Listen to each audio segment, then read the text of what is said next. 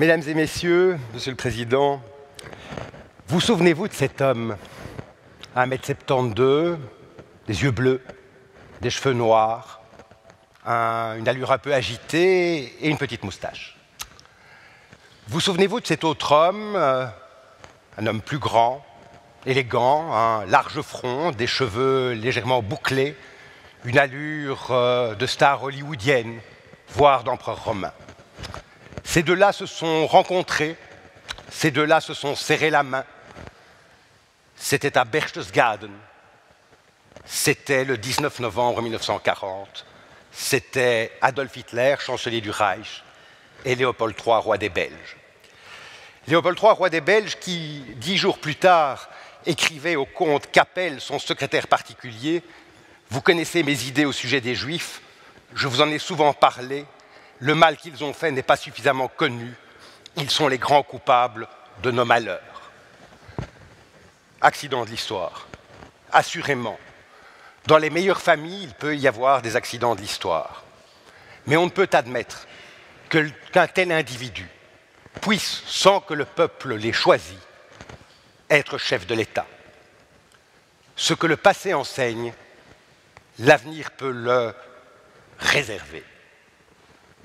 Alors qu'on ne me dise pas qu'en République, il peut y avoir des présidents racistes, fascistes, xénophobes ou incompétents, c'est l'évidence. Mais le peuple a voté et comme il a voté, il est seul responsable du malheur démocratique qui le frappe.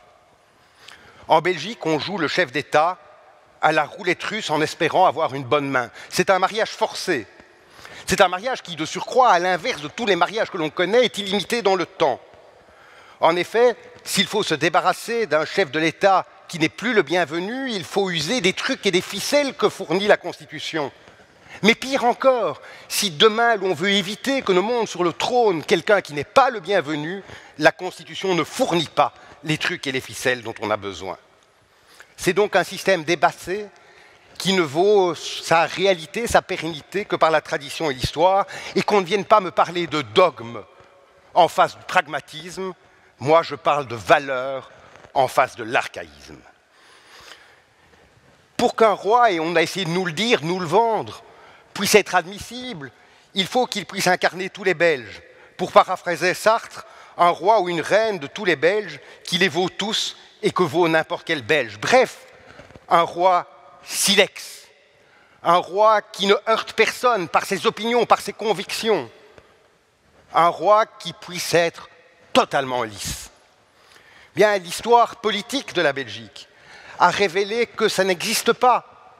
Prenons Baudouin Ier, Baudouin Ier qui, en refusant de sanctionner la loi sur l'interruption volontaire de grossesse, a fait preuve d'un ego hypertrophié, mais surtout en mettant en avant sa religiosité de mauvaise aloi pour un chef de l'État, a gravement méprisé ce qui était la volonté des représentants du peuple.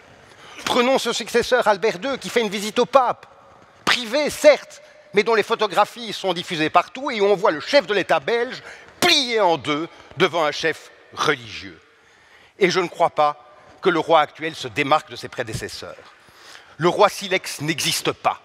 Alors on nous dit, on essaye de nous vendre qu'une crise de 541 jours a été résolue à cause du roi, sans doute parce qu'il a fait un discours courroucé rappelant les responsables politiques à l'ordre un 21 juillet, le 21 juillet 2011. Ce n'est évidemment pas le cas. Ce n'est évidemment pas le cas. Prenons les deux dernières crises politiques.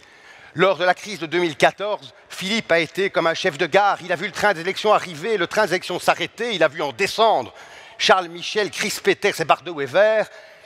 Il les a vus remonter avec un gouvernement et nul ne pourra dire que sans l'intervention du roi, qui n'a pas fait d'erreur mais qui n'a rien fait, le tempo de la naissance de ce gouvernement eût été différent. Et le roi, pendant la crise des 541 jours, le roi Albert II n'a pas empêché l'une des plus longues crises que les temps modernes ont données, une crise que seul le Cambodge a connue plus longue. Un roi qui n'incarne pas le pays tout entier, un roi qui ne peut résoudre les crises, un roi que le peuple se voit imposer sans l'avoir choisi, un roi comme cela pose une question, pourquoi un roi? Et poser sa question, c'est déjà y apporter une réponse. Je vous remercie.